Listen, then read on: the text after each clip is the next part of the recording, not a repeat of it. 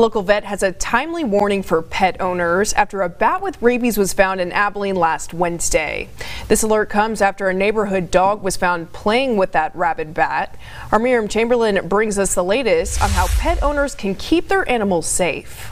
We just need to keep our pets vaccinated. With spring season upon us, Animal Health and Medical Center's Dr. Alan Bolt says more wild animals carrying rabies could be expected. If we keep our pets vaccinated, then you're not going to get the spread that uh, we would if we don't have them vaccinated. Over a period of time, Dr. Bolt says the virus can build up in the population, and just like any other disease, it spills out. Once we isolate a rabies this early in the year, then you better look out because we're probably going to have uh, a lot more this summer. Dr. Bolt says typically when a nocturnal animal, such as bats, are out during the day, then you should assume that it is rabid. It creates problems in their brain, and so they're not acting the, the way they normally do.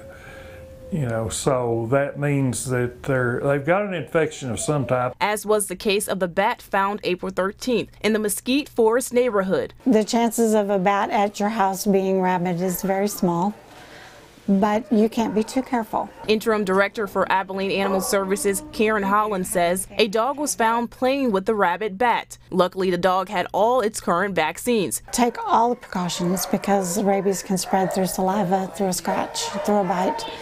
Um, for bats, they can scratch you without you even knowing that they scratched you because they're so small. Both Holland and Dr. Bolt says a rabies vaccine must be administered to pets every year, as it is a requirement in the state of Texas. In Abilene, Miriam Chamberlain, KRBC, Abilene's local news.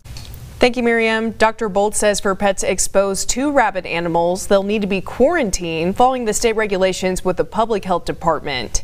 The encouraged quarantine period is set for 10 days or more, depending on the severity of the case.